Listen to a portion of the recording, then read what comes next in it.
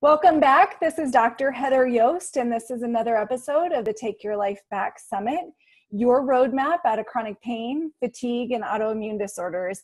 And I'm so excited to announce our special guest today. It's Dr. Tom O'Bryan. And Dr. O'Bryan believes in making a difference in the world, one healthy human being at a time. As an internationally recognized and sought after speaker and workshop leader, Dr. O'Bryan specializes in the complications of non celiac gluten sensitivity, celiac disease, and autoimmune diseases as they occur outside and inside of the intestines. He is the founder of the doctor.com. He's also an author of the Autoimmune Fix, which I have read and have right here personally and loved.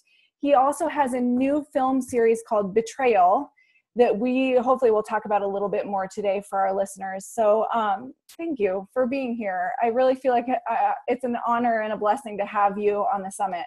Oh, thank you. It's really a pleasure. Uh, you are talking to the people who need to hear this more than anyone else. The people who have tried so many different things to get well, and they just can't get that la- over that last hurdle, or maybe the fourth from the last hurdle, you know, whatever right. it is for them, but right. they're just stuck. So it's really a pleasure to be talking to you.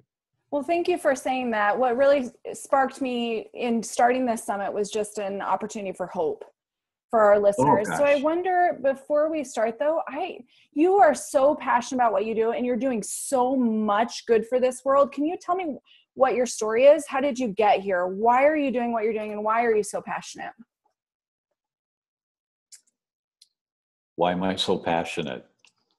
I guess um, the best reason would be um, when my son was 17, thinking about colleges.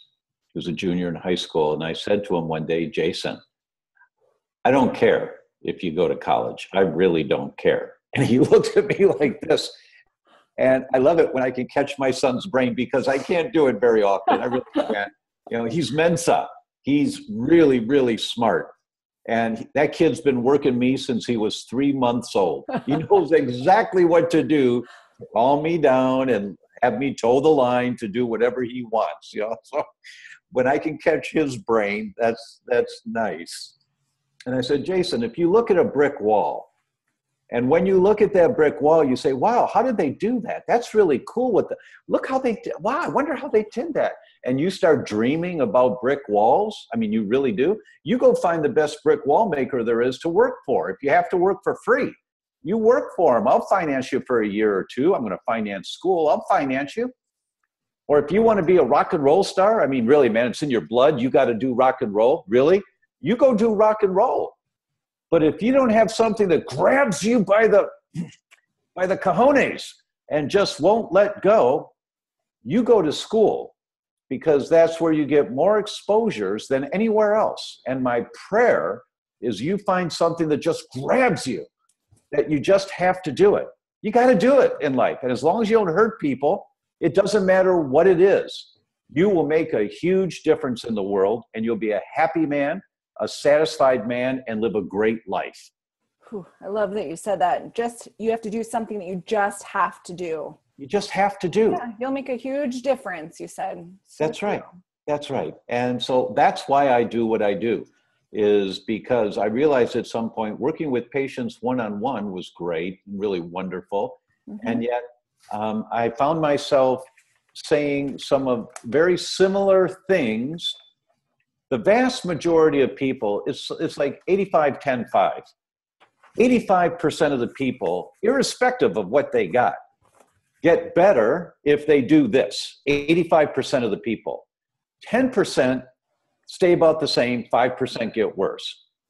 Hmm. so i was saying the same thing to everyone to start off with. And when they just did this introductory approach 85% of them get better. It doesn't matter if it's rheumatoid or if it's migraines or if it's recurrent miscarriages. It didn't matter uh, if it was chronic pain, if it was psoriasis, uh, vitiligo, the loss of skin, uh, so people that get white spots on their skin, it doesn't matter. If you if you do this, if you start here, 85% of them get better, and they're on the right track. So when I realized that, I realized that the whole world needs to hear this. And if I can help 85% of everyone that hears this, and if I can relay it in, in a convincing enough way so that people don't sit there like this, but rather they say, hmm, all right, well, that seems safe. All right, I'm going to try that. Okay, okay.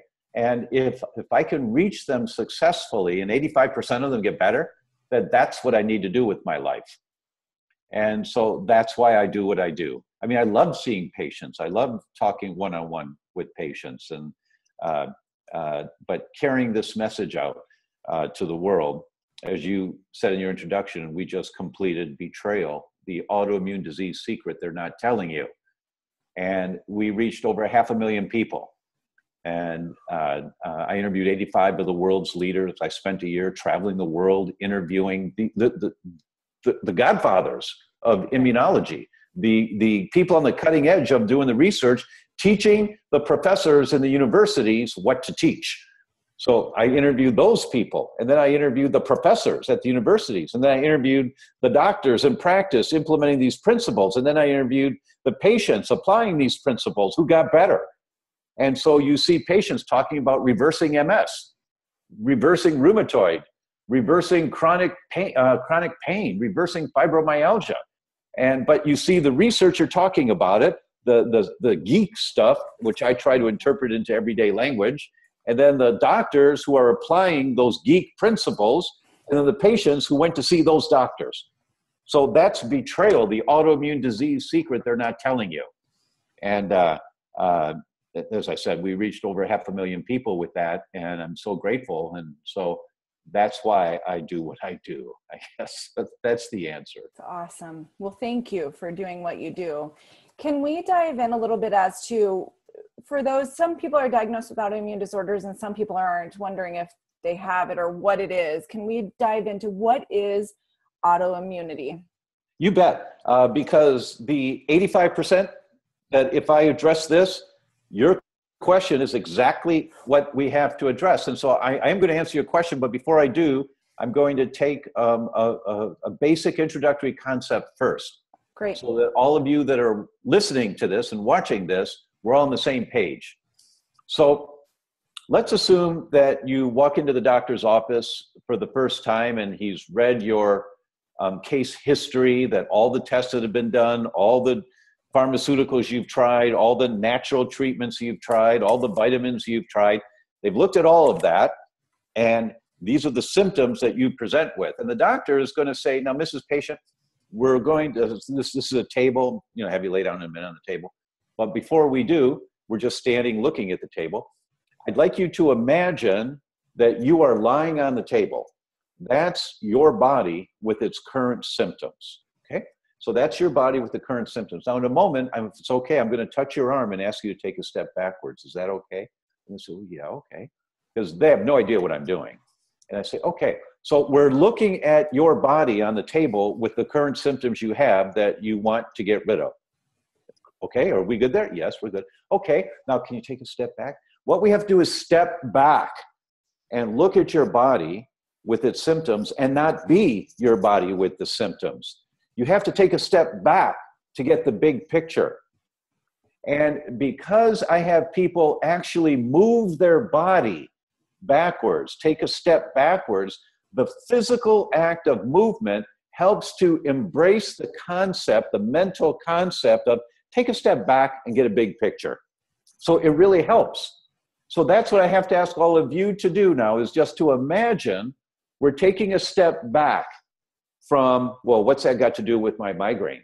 Or what does that have to do with the three miscarriages I've had? You know, so take a step back from that and just listen to the next 10, 15 minutes of this introduction, and then we'll get into specifics. But if you just listen to the introduction, see if it doesn't make sense to you. If it does make sense, I'm going to try my best not to talk geek. If it does make sense to you, buy my book and then read the book because that's where you get all the detail. Right. And then you really dial it down. It'll take you a month, two months to read the book. It'll take a while because it's not easy reading.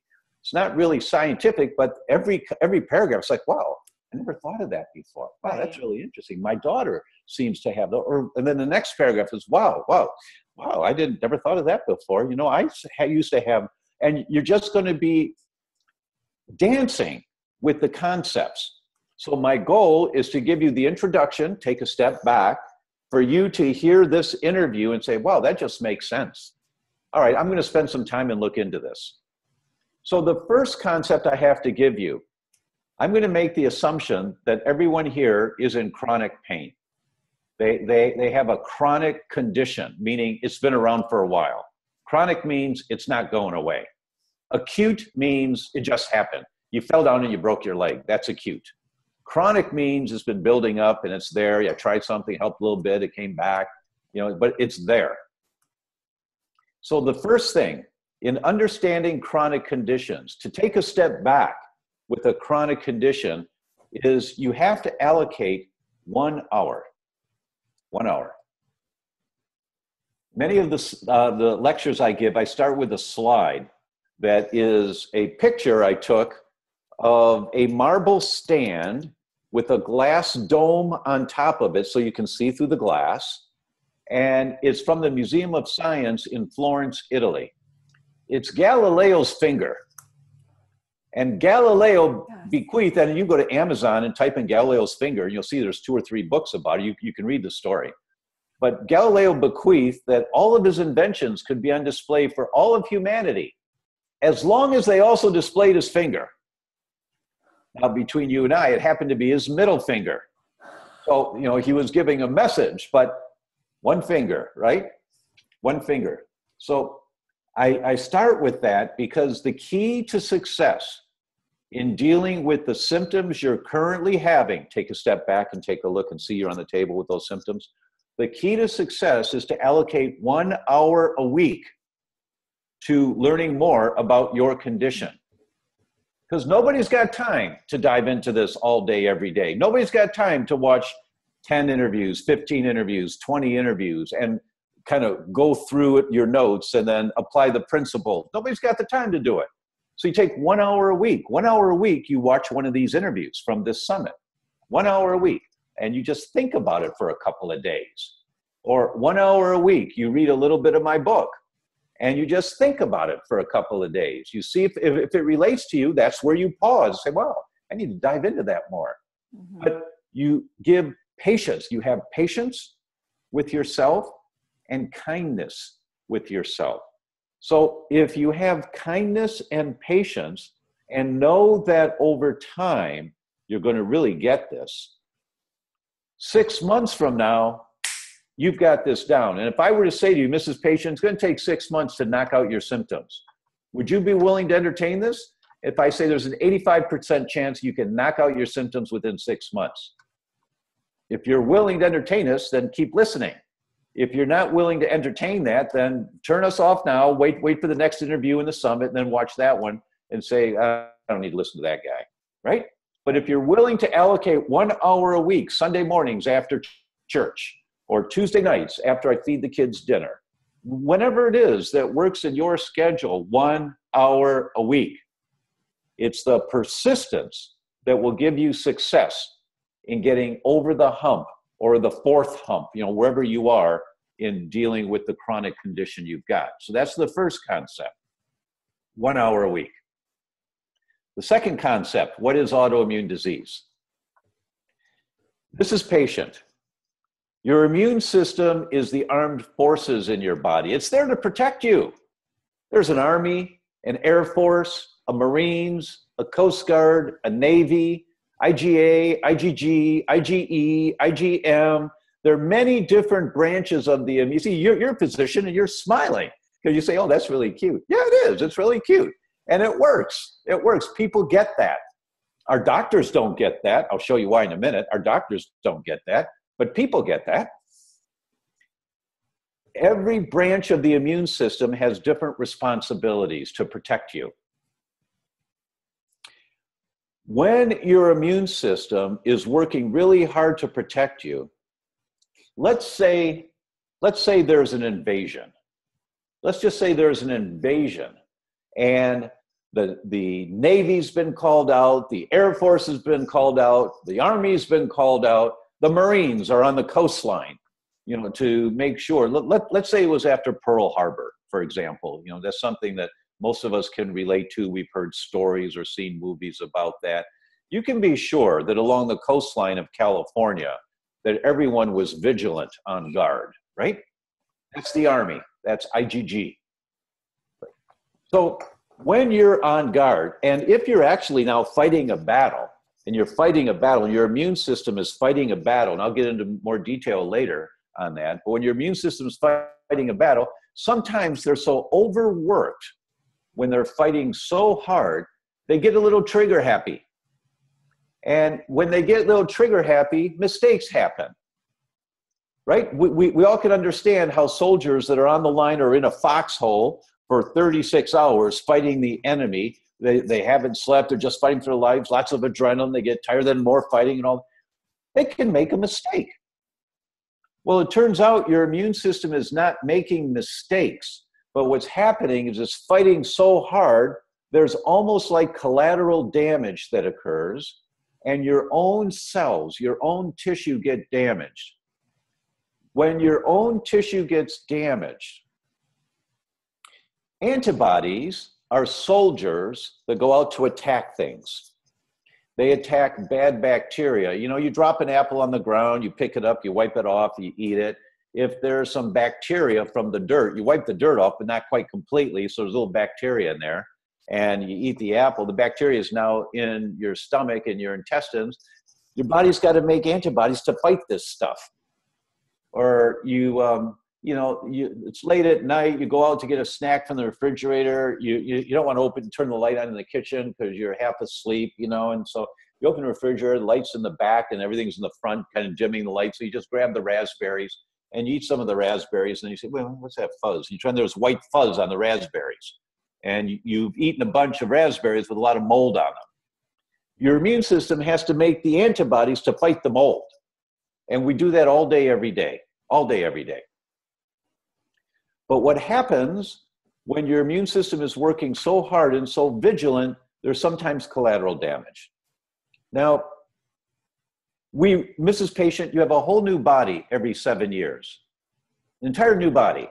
Some cells reproduce really quick, like the inside lining of your gut every three to five days. About that, one study said seven days. You have a whole new lining to your gut. It's like the skin of a snake, you just kind of shed it. You make new cells, new cells, new cells. Other cells are really slow, like your bone cells are really slow. But every seven years, you have a whole new body. So when cells get old, let's say a thyroid cell, when it gets old or it's gotten damaged, some toxic stuff or something, your body has to make antibodies to get rid of the old damaged cells. That's normal. Or here's a better example. When you exercise and you're pumping iron, you know, to build up your bicep muscle, and you know, the next day where your arms are really sore because you worked out pretty hard, that's because there's inflammation in there and you've torn some of the muscle fibers. That's what exercise is micro trauma to the muscle fibers. And then you get rid of those damaged muscle cells. Antibodies are made to get rid of those damaged muscle cells, and you make new muscle cells. You have to make room for the new cells. You get rid of the old cells. So your immune system makes antibodies to get rid of old thyroid cells, old muscle cells, old brain cells, old heart cells. There's a normal reference range. So if you get a blood test to look at antibodies to your thyroid, there's a normal range. Why would we ever have antibodies to our own tissue? Because you got to get rid of the old damaged cells to make room for new cells. That's normal. But when you have elevated levels of antibodies, when you're outside the normal range, now you're killing off more cells than you're making. That's autoimmunity. When you're killing off more cells than you're making, now you're killing off more thyroid cells or you're killing off more brain cells. And you know, okay, you, you don't feel that when that's happening, but if you've got elevated antibodies to something called myelin basic protein, which is the saran wrap around the nerves, and you have elevated levels of antibodies to myelin basic protein, you're killing off the myelin. You're not making as much as you're destroying, right? So, what's myelin? Mrs. Patient, if you take the wire from the battery of a car that goes to the headlight of the car, and in the middle of that wire, if you could take off the insulation so the wire's exposed, Now touch that exposed wire to the frame of the car. The headlights flicker on and off. And you say, What's wrong with the headlights? There's nothing wrong with the headlights. It's the wire, right? That's MS. That's exactly what MS is. When you've had elevated antibodies to myelin basic protein or one of the other proteins, there's three proteins. When you have elevated antibodies to those proteins, you take off the insulation on the nerve, it exposes the nerve, then the brain can't send the message to your legs or your arms or wherever it's supposed to go. And then your leg or your arm or wherever that nerve's supposed to go doesn't work very good. That's MS. So that's autoimmunity. Autoimmunity is when you have elevated levels of antibodies. The antibodies are not a problem. It's the elevated level of antibodies that's a problem, okay? Now, next concept. I'm a geek. I just read the research all the time. I love reading the research. I go, oh, look at that. Sometimes I tape the research papers on the ceiling of my bedroom. And I go, I go to sleep, you know, I look at it and say, wow. And I wake up in the middle of the night and sometimes I just write stuff down. Because I, I, used to think I'd remember. I don't remember. I don't get up in the morning. What was that? I forgot, whatever it was. So I write it down, right? So I read the research. So what I'm about to tell you is just all research. And in my lectures to doctors, I show them study after study after study after study. So we think that cardiovascular disease is the number one cause of death in this country and cancer is number two. Well, two points to that. First, um, the National Institute of Health tells us that 22 million people a year get cardiovascular disease, diagnosed with cardiovascular disease. 9 million people a year are diagnosed with cancer. 24 million people a year are diagnosed with autoimmune diseases. That's the first point. Second point, we know that only one out of th- three people with a diagnosis or with an autoimmune disease is diagnosed. They're not diagnosed. That means there's 72 million people out there, three times 24. Third point cardiovascular disease that we think is the number one cause of getting sick and dying in the world is autoimmune in its initiating phases. It begins as an autoimmune mechanism. So, what becomes a primary cause of getting sick and dying in the world? It's your immune system attacking your own tissue, which from what I told you a minute ago, is collateral damage. That's what the new science is telling us. It all comes from, I shouldn't say all, I'm sorry, that's an exaggeration. Most of it comes from collateral damage of your immune system trying to protect you. So that's really important to understand. And once again, that's outlined in my book and Big T. This is where 85% of the people that get this stuff, if you take the time, one hour a week to get this, you now will know what to do to address your complaints lying on the table, whatever those complaints are. Recurrent miscarriages, sure. Uh, rheumatoid arthritis, sure. Uh, severe depression, sure. Bipolar disorder, sure. Schizophrenia, sure. Most of the time, you're going to get better if you think from this concept. So the question is why is my immune system working so hard? That's the question. Why is it working so hard that there's so much collateral damage?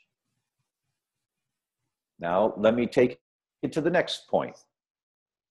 It was about four months ago, maybe a little more than that, that the World Wildlife Fund published a paper with two major universities to say, on average, there has been a 57% loss of all wildlife on the planet since 1970.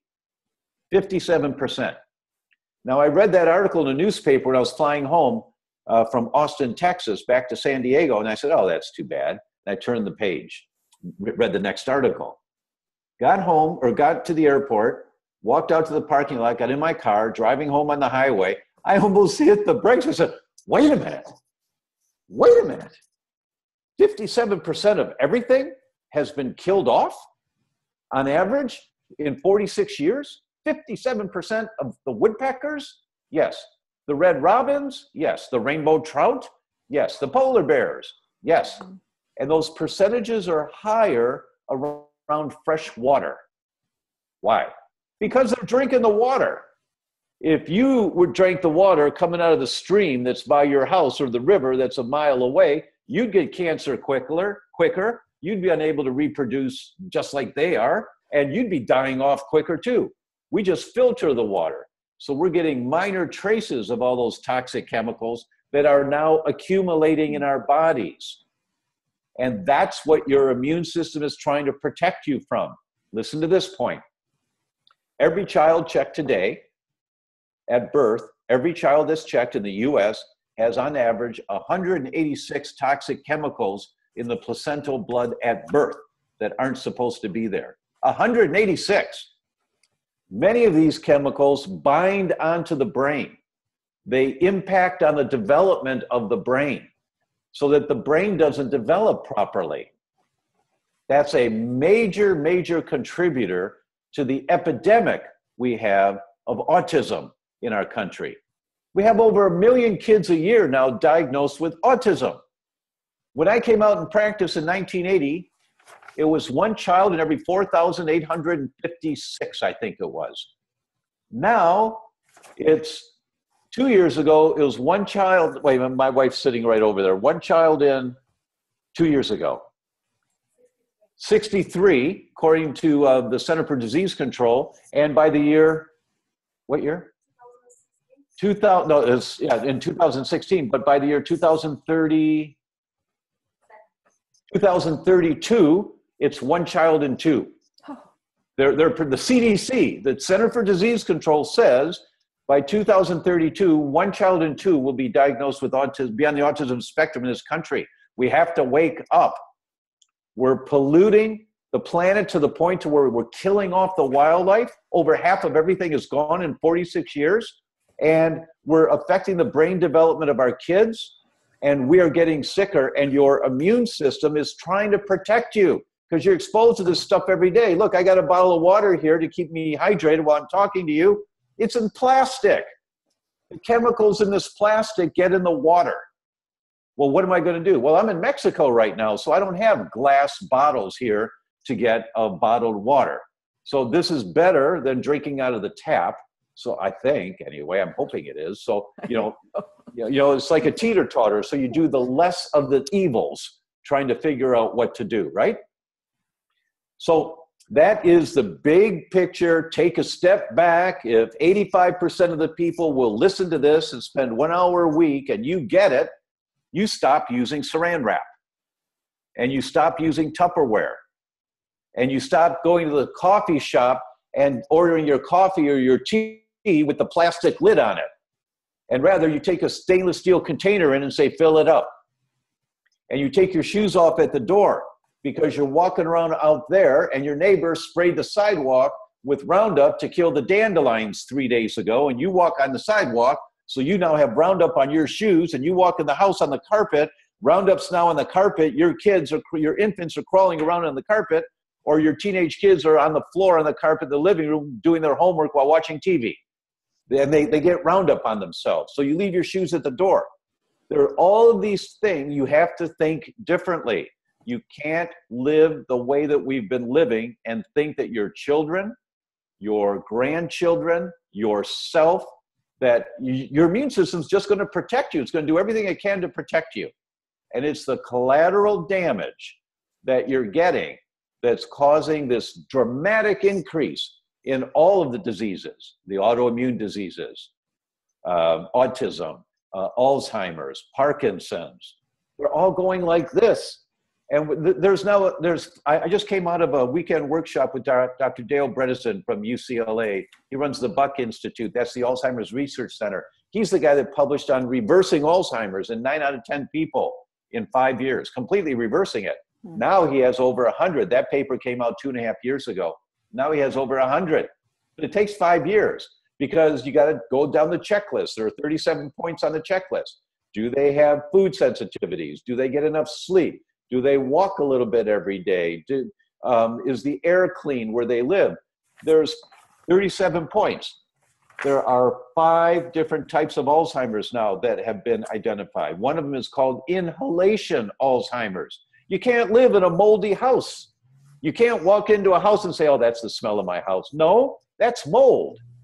and you can't live in that because you breathe it. You think you're fine when you're there, but you're, you, you can't because it gets, eh, you breathe it in, it goes through the lungs, very permeable, into the bloodstream, right up to the brain, and that causes inflammation in the brain. The inflammation of the soldiers trying to protect you, and then the collateral damage comes, and over time, you get Alzheimer's or Parkinson's. It's called inhalation Alzheimer's. They published a study, Dr. Louise Calderon at University of Montana, she published a study a few years ago. Every child they check now, every single child in Mexico City has evidence of early Alzheimer's. Children.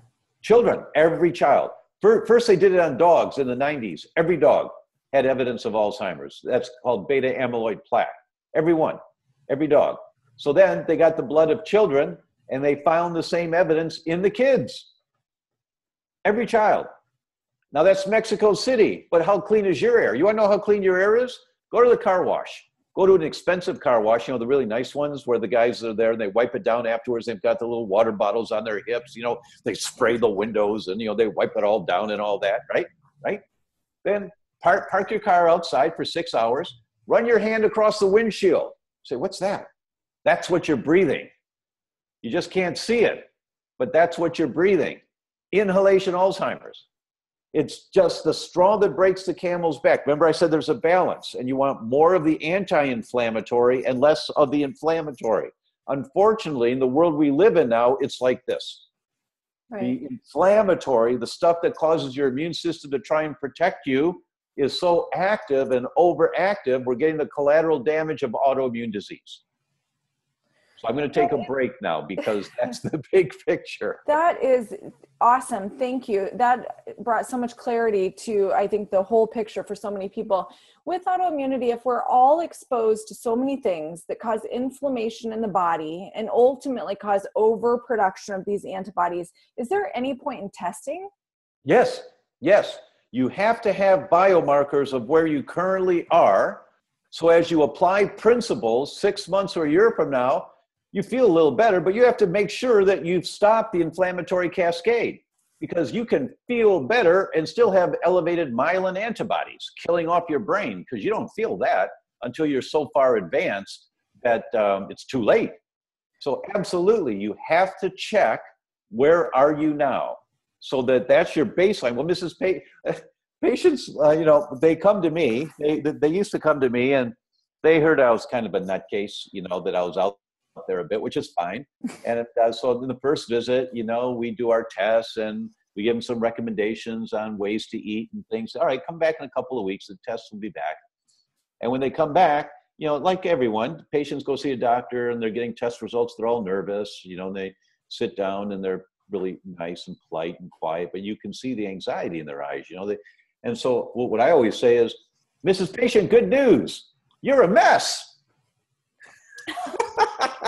and they look at me and I say, This is great. These are all functional tests. We can fix this.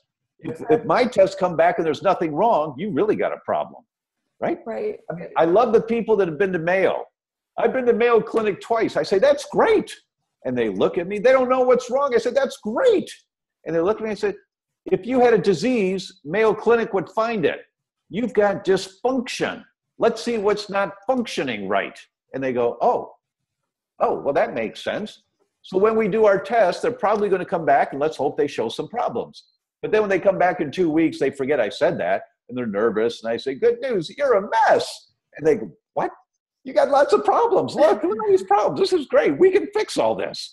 Right. And so, and then they laugh and they smile and then they understand, you know, you got to take a step back. And obviously, there's got to be a lot of stuff wrong because you're suffering. Something's right. got to be wrong. The tests come back negative, wrong test. Right. I love that you said that. Tests come back negative, wrong test. You've mentioned before that um, you can actually predict autoimmune diseases sometimes up to 30 years. How do you do that? Right. It's called predictive autoimmunity. The godfather of that, who I interviewed three times in Betrayal, uh, he was so kind with his time. His name is Professor Yehuda Shoenfeld. And this guy, holy cow, this guy, I think the best thing to his name is now 28, as far as I know, it's 28 28 of the doctors who got their PhD studying under him, 28 of them now chair departments of immunology in medical schools and hospitals around the world. They run the departments and they're all his students. Mm-hmm. This is the godfather. And he's the godfather of predictive autoimmunity. Now, what's predictive autoimmunity? You do a blood test and you look for the standard antibodies that you often find elevated for people. And they, uh, so there's a panel that we put together. There's six for the brain, three for the heart, the lungs, the liver, the kidneys, the gut, four for the gut, your bones, your reproductive system. So it's 24 different antibodies that we're looking for. And you're looking to see do they come back elevated. When I did this test, I was 44 when I did this test. I was doing triathlons quite regularly and I was scoring in the top 10% of the men between 30 and 35. And I was 44. So I was walking, hey, I'm a stud. I'm, yeah, you know, I'm not aging, right? You know, that, that silly stuff, right? But I did that test at 44 and I was fine. I was quite healthy. I had three antibodies to my, my brain elevated. Three. Myelin basic protein, that's what causes MS. Cerebellum, peptides. That's the area of the brain that when it shrinks, this is why old people can't run up and down stairs gracefully. They don't have the balance, they got to hold the railing. It's your cerebellum that's been shrinking for years. And gangliosides, that's what causes the whole brain to shrink and causes non Alzheimer's dementia. I had all three of these elevated. I called the lab and I said, What is this? This is a mistake. They said, no, it's not. I said, do it again. They said, we did. We know it's you. We did it again. It's accurate. Sorry. And I said, whoa, whoa. That's what woke me up. You don't feel when you've got elevated antibodies to your cerebellum. Right. You don't feel when you have elevated antibodies to your heart, killing off your heart. I'll give you an example. Patient comes in at 44 years old. His father father died at 44 of a massive coronary. His two older brothers died in their early 40s of massive coronaries. When his last brother, he was the last male in the family. Mm-hmm. When the last brother died, he was 28. He went to a cardiologist that put him on a statin. That's the chemicals to reduce cholesterol. He didn't have high cholesterol, but they did it preventively. So he'd been on a statin now for 16 years. He was the picture of health his body fat was 16%. He was exercising regularly, took a bunch of vitamins, never ate junk food ever, looked really healthy. All of his blood tests were healthy when he sees his doctors. Happy man, successful in his work, lovely family, the picture of a successful life. He said, But I wanted I, I heard about your test. I want to do your test. Hmm. Smart man. And because his three older uh, males had died in their early 40s. His test came back sky high antibodies to all three heart antibodies that we test, sky high. He said, Why is this? I said, I don't know. Let's find out. Let's figure it out. And he had elevated antibodies to wheat and to dairy. We took wheat and dairy out of his life completely. Don't cheat. Out of his life completely and I, I didn't have to give him any vitamins. He was taking a ton of vitamins. That's all we did. Six months later, we did the test again. Heart antibodies down to normal. No longer was his immune system killing off his heart. He didn't hmm. feel anything because he was exercising, eating well, happy man. So he thought his life was good. But his immune system, because of his genetics, were going after his heart. That was the weak link in his chain. Mrs. Patient, you pull at a chain, it breaks at the weakest link. It's at one end, the middle, the other end. It's your heart, your brain, your liver, your kidneys, wherever your genetic weak link is, that's where the chain's going to break. So obviously, what we have to do is stop pulling on the chain, right? And so that's why he said, Why is that? And I said, I don't know. It turned out for him, every time he ate wheat or he ate dairy, he was pulling on his chain. And the weak link was his heart. That's where the antibodies were being made. It's called cross reactivity. And uh, there are many, many papers on this in the literature now. So, predictive autoimmunity is looking for these antibodies that are elevated. There's a normal reference range for all of them. It's fine. You, you know, it's normal to have some. But when you have elevated antibodies, once again, you're killing off more cells than you're making. That makes so much sense. I think that really brings it into perspective for the listeners too to understand how this can happen and what that means for you and why it's so important to think ahead, so to speak. Are there any physical signs or symptoms that um, you mentioned, like you don't feel the antibodies being elevated, but are there any early predictor signs of autoimmunity? Oh, sure, sure. And uh, the predictive signs of autoimmunity is you don't feel well. You just don't feel well. What does right. that mean? And you have no explanation. Yeah. Well, you've been to the doctors and they say you're healthy or they've given you something to take care of your complaint. You still have a complaint. Well, that may mean I'm, I'm just going to make up a number. Let's say you've got um, 35 million cells that make up your liver. Well, maybe you've only got 28 million cells left because you've been killing off liver cells for the last eight years or 10 years. Maybe that's it or maybe it's your thyroid and you get cold hands and feet and you wear socks to bed and you can't wake up in the morning. You wish you had 20 more minutes in bed and you can't lose those extra five pounds even if you don't eat for two days. You know all signs of thyroid but you do a blood test and your thyroid hormone levels are normal. Well yeah you've got normal hormone levels but you got elevated antibodies that are killing off your thyroid. That may be the mechanism for you if that's the weak link in your chain Boy, very good. I like the analogy, of the weak link in your chain. Um, if you couldn't test, for those people that um, maybe can't test or don't know how or where would they start, if you could give these people with pain or autoimmune disease um, three main points or three big points, what would that be? Read my book, read my book, read my book. Very good. And just as a reminder, they can find that on Amazon.com. Yes, yes. Uh, I'd suggest that you go to my website to get the book, thedr.com. Don't spell the word doctor out, just thedr.com. Yep. And it just gives you the link to Amazon.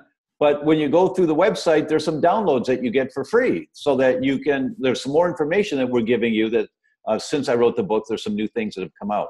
Uh, awesome. so if you go to thedr.com, you'll see the book on the front page. Just click on it it's supposed to work that way. I honestly, I've never clicked on it. It's supposed to work. I hope it does. I'll test it for you before this launch. right, right, right. Uh, but uh, and then there's some free downloads for you there also. I understand that you're gifting um, our audience a special gift as well. Can you explain that? Um, I'd love to, but you have to tell me what it is. You are giving away the gluten fact pack. Oh yes, good. Thanks. Yep. Um, um I did this thing three years ago where I traveled the world and I interviewed 29 of the world leaders about wheat sensitivity with or without celiac disease. I interviewed Professor Shoenfeld. That's where I met him first time was for the Gluten Summit. Uh, uh, I interviewed Professor Michael Marsh. That if your doctor thinks you've got celiac disease, the test you do is called endoscopy. They put a tube down and they look at your intestines, they snip a little piece, and look at it under a microscope. And the classification is Marsh 1, Marsh 2, Marsh 3. This is Marsh. This is the godfather of it all. Really wonderful man. Wonderful, like a Kris Kringle kind of guy, an elder. And uh, uh, Dr. Loren Cordain, the founder of the whole paleo movement 30 years ago, the one who first started talking about eat more the way our ancestors ate uh, Dr. Mark Houston, the world famous vascular biologist, that means the health of your blood vessels from Vanderbilt University. All these experts I interviewed, and um, like this summit, that kind of thing. And um, uh, we aired it um, three years ago, uh, oh, close, yeah, three and a half years ago. And this is the best of the gluten summit. There's little pearls we've taken from all of those interviews for you. So you can say, wow, that's really interesting. I didn't know that. Wow. And uh, all of these pieces of information that help put it together for you. There's that. And there's a handout in there called The Conundrum of Gluten Sensitivity Why the Tests Are Often Wrong. And when you read that handout, you'll understand that the tests your doctors want to do are almost all the time not the right tests. They're the tests of 10 years ago or 15 years ago. They're good tests, but they're not complete. And they've got a lot of missing links. And so you miss a lot if that's the only test you do. So that handout, I wrote that handout and I put the research articles in there so you read it. It makes sense to you. Um, if you follow my thinking here on this interview, that's the way the handout is. I wrote it that way. And um, but then when you give it to your doctors, I also put the studies in there that they can read. They say, "Oh, I didn't know that. Wow, I didn't know that. Well, this sounds like a good test. Let's try it." So that's called the conundrum of gluten sensitivity. So um, that's another gift for you guys here today. Thank you so much. So I just want to say to everybody that's listening, folks, you must take advantage of this and go to that website and get that free information from him. As we're winding down today, I want to ask you a couple fun questions. I know that you're in Mexico right now, so I'm curious. I've been asking every speaker if there's two things if we open up your fridge is are there two things that we would always find? And i guess do those two things transfer to mexico with you? Well they've they've not transferred to mexico because uh, we just arrived here.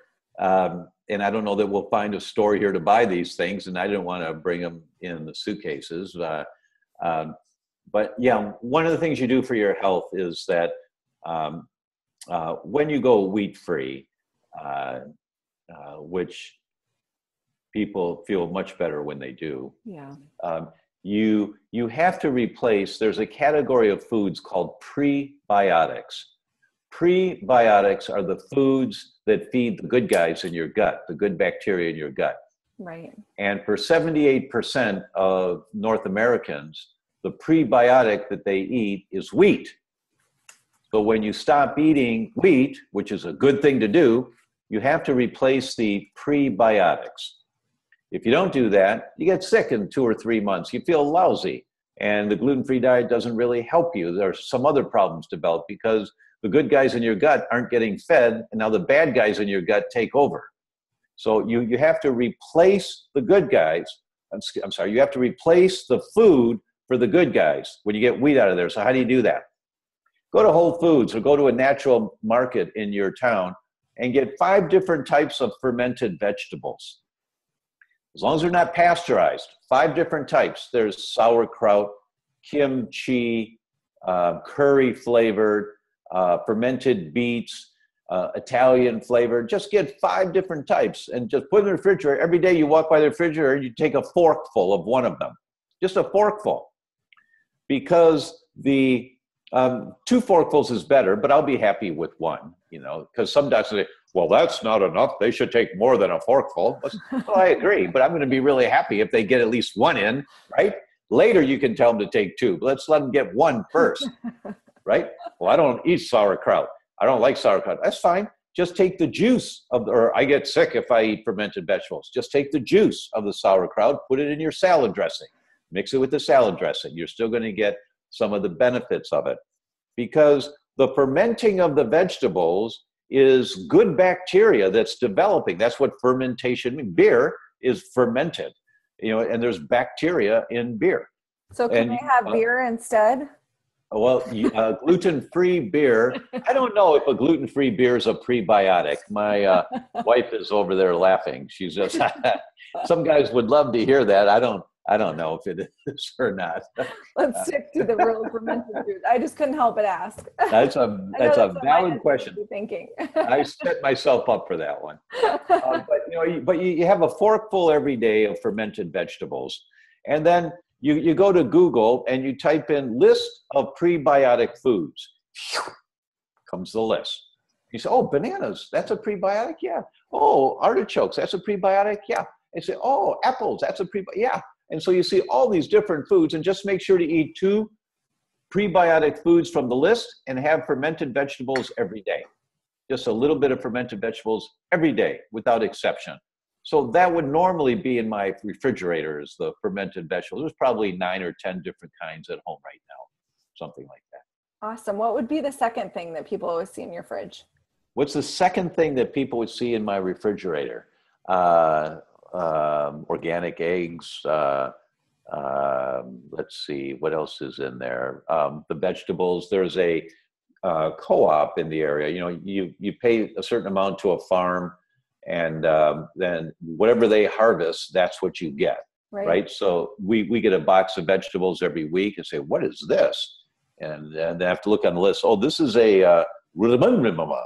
So, oh, I've never eaten a rudimamba before. I, I, wonder what you do with that. Then, then you go to Google, and you type in rudimamba, and yeah. say, oh, uh, I'm not going to do that. I'm just going to dice it up. I'm going to saute it with some other vegetables, and we'll try it like that. And I do that a lot. Um, the other thing that you'll always find in my refrigerator um, are root vegetables. Right. Root vegetables are the very best food for the good bacteria in your gut.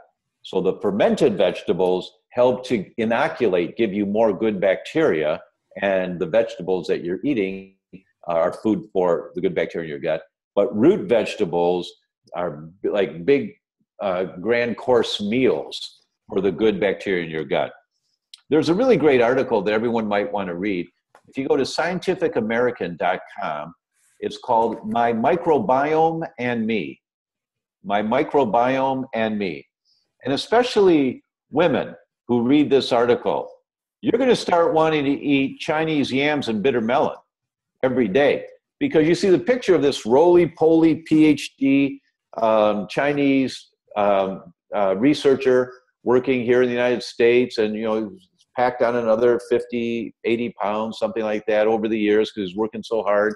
Then he remembered his grandmother telling him the story about bitter melon and Chinese yams and just eat them every once in a while, keeps your weight where it should be. Remember that as a kid. His grandmother told me that. So he started doing it. And then you see a picture of him two years later just standing up against the wall. He's buff. He's buff. And he didn't do anything else. But when you use the root vegetables, you feed the bacteria in your gut that keep you lean.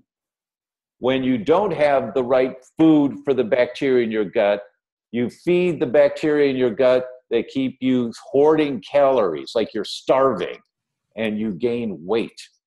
Um, that's the Pima Indians. The Pima Indians in the four corners of the Southwest have been there for hundreds and hundreds and hundreds of years. How do they live there? You can't grow anything there. It's desert. How do they survive and thrive and reproduce in the desert? Well, only the strong ones survive. The weaker ones die off and don't reproduce. So the stronger ones survive and they thrive. How do they do that? They developed a, a large concentration of the bacteria in their gut that hoard calories. So they're very efficient at whatever they can find to eat. They get every calorie out of that and they store a lot.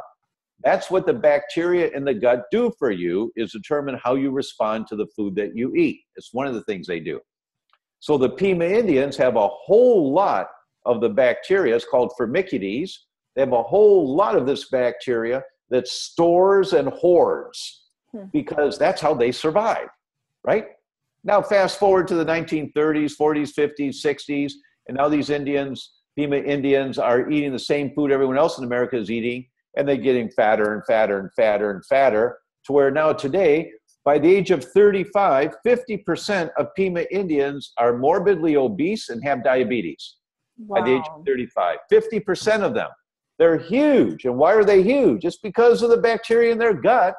That's how they survived for hundreds and hundreds of years but now they're eating pork rinds and you know like every like well, what everybody deep fried onion rings at A and W and everything else that we eat uh, on occasion. They're eating the same thing, but their bacteria hoard. So if you can't lose weight, if you've been trying and you just can't lose weight, most likely a strong contributing component to that too much firmicutes, not enough bacteroides. Try bitter melon and Chinese yams. So get the article Scientific American, My Microbiome and Me, and you'll go, oh my God, that makes so much sense. And then you're going to go say, now you're going to try and find Chinese yams, and you're going to find, where am I going to find Chinese yams? And no, they don't have it, they don't have it, they don't have it. You have to go to a Chinese store and ask them for Chinese yams. Right. And then they'll get them for you, right? Or Chinese bitter melon. And they'll get them for you. And you say, well, this doesn't taste too bad if I make these. And then in six months, you're like, whoa, what happened to you, girl? Right? Because I mean, that's, you know, their microbiome that that's a that's a people get their phds just studying the microbiome there's so much to learn about this that we didn't know about 15 20 years ago right Well, you have gifted us so many pearls. This has been such an excellent interview. And I just thank you so much for your time. I know you're so busy and obviously on vacation. Um, but thank you for taking the time to do this. It means a lot to me. I know we're we're reaching out to a lot of people and your message is so powerful. So thank you for being here, Dr. O'Bryan.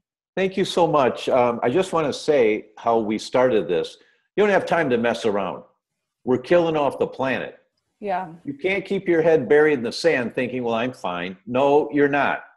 It's your kids and your grandkids are going to suffer tremendously just because of the level of poisons in the formaldehyde in the kitchen cabinets because press board is soaked with formaldehyde in the varnish on the tables, uh, in the uh, dry cleaning chemicals in the clothes, in the uh, fire retardant chemical. How many people you know have survived a fire by wearing fire retardant clothing? Right.